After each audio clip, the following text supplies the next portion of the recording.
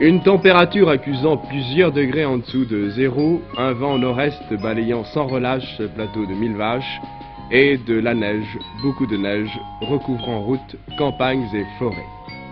C'était samedi, et dans ce décor que ne désavouerait pas Andersen, voici les 80 héros non pas de la fameuse chasse, mais d'un rallye motocycliste.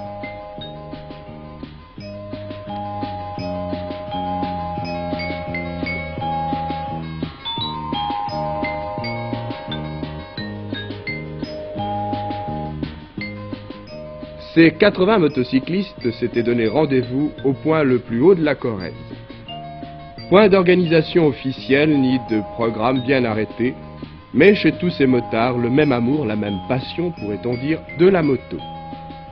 Passionné, il faut l'être en effet pour affronter sur une moto la neige et le froid sur des centaines de kilomètres.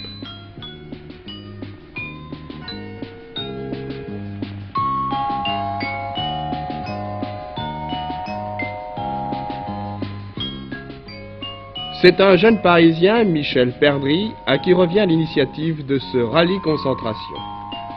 Âgé de 18 à 25 ans, qui a sidecar, qui a moto, qui a vélomoteur, ces motocyclistes se sont tous retrouvés sur le plateau de Mille Vaches, venant de toutes les régions de France, de l'étranger, notamment de la Grande-Bretagne.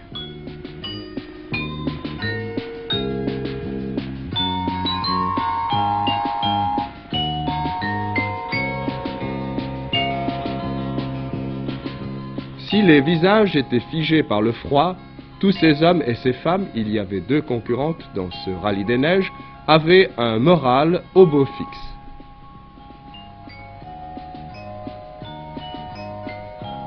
Pour notre part, nous ne nous en étonnerons pas, surtout en songeant que tous ces concurrents n'en étaient qu'à la moitié de leur épreuve. En effet, partis la plupart vendredi soir ou samedi matin, ils se retrouvaient à mille vaches avant de reprendre la route dimanche matin pour être tous au travail lundi matin.